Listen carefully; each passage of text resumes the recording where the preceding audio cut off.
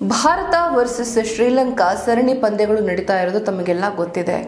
ಇದೀಗ ಮೊದಲನೇ ಏಕದಿನ ಪಂದ್ಯದಲ್ಲಿ ಅಥವಾ ಮೊದಲ ಪಂದ್ಯದಲ್ಲಿ ಟೈ ಆಗಿದೆ ಅಂತ, ಎರಡೂ ತಂಡಗಳ ಮಧ್ಯೆ ಟೈ ಅಪ್ ಆಗಿದೆ.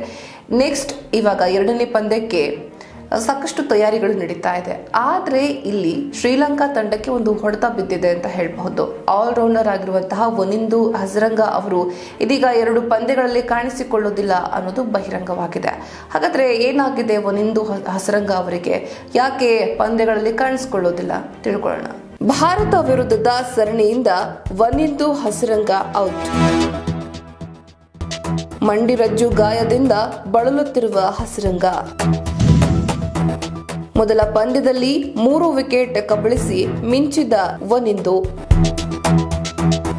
ಭಾರತದ ವಿರುದ್ಧದ ಏಕದಿನ ಸರಣಿಯಿಂದ ಶ್ರೀಲಂಕಾ ತಂಡದ ಆಲ್ರೌಂಡರ್ ವನಿಂದು ಹಸಿರಂಗ ಹೊರಬಿದ್ದಿದ್ದಾರೆ. ಮೊದಲ ಏಕದಿನ ಪಂದ್ಯದಲ್ಲಿ ಕಣಕ್ಕಿಳಿದಿದ್ದ ಹಸಿರಂಗ ಇದೀಗ ಮಂಡಿರಜ್ಜು ಗಾಯದ ಸಮಸ್ಯೆಯಿಂದ ಬಳಲುತ್ತಿದ್ದು, ಹೀಗಾಗಿ ಉಳಿದೆರಡು ಪಂದ್ಯಗಳಿಗೆ ಅಲಭ್ಯವಾಗಲಿದ್ದಾರೆ ಎಂದು ಶ್ರೀಲಂಕಾ ಕ್ರಿಕೆಟ್ ಬೋರ್ಡ್ ತಿಳಿಸಿದೆ. ಮೊದಲ ಏಕದಿನ ಪಂದ್ಯದಲ್ಲಿ ಕಣಕ್ಕಿಳಿದಿದ್ದ ಹಸರಂಗ ಇಪ್ಪತ್ನಾಲ್ಕು ರನ್ಗಳ ಕೊಡುಗೆ ನೀಡಿದ್ರು. ಹಾಗೆಯೇ ಮೂರು ವಿಕೆಟ್ ಕಬಳಿಸಿ ಮಿಂಚಿದ್ರು. ಇದೀಗ ಗಾಯದ ಕಾರಣ ಎರಡನೇ ಮತ್ತು ಮೂರನೇ ಏಕದಿನ ಪಂದ್ಯಗಳಿಂದ ಹಸರಂಗ ಹೊರಗುಳಿಯಲು ನಿರ್ಧರಿಸಿದ್ದಾರೆ. ಇನ್ನು ಹಸರಂಗ ಅವರ ಬದಲಿಯಾಗಿ ಜೆಸ್ರಿ ವಾಂಡರ್ಸೆ ತಂಡಕ್ಕೆ ಆಯ್ಕೆಯಾಗಿದ್ದಾರೆ. ಐದು ಆಟಗಾರರು ಅಲಭ್ಯ.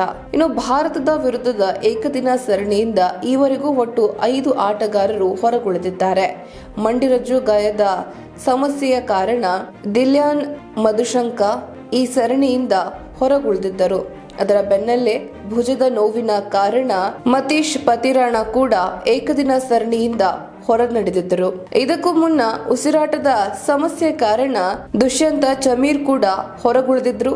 ಇನ್ನು ನುವಾನ್, ತುಷಾರ್ ಹೆಬ್ಬೆರಳಿನ ಗಾಯಕ್ಕೆ ತುತ್ತಾಗಿ ಏಕದಿನ ಸರಣಿಯಿಂದ ಹೊರಗುಳಿದಿದ್ದಾರೆ. ಇದೀಗ ಒಂದಿಂದು ಹಸರಂಗ ಕೂಡ ಗಾಯದ ಕಾರಣ ಕೊನೆಯ ಎರಡು ಪಂದ್ಯಗಳಿಗೆ ಅಲಭ್ಯವಾಗಲಿದ್ದಾರೆ.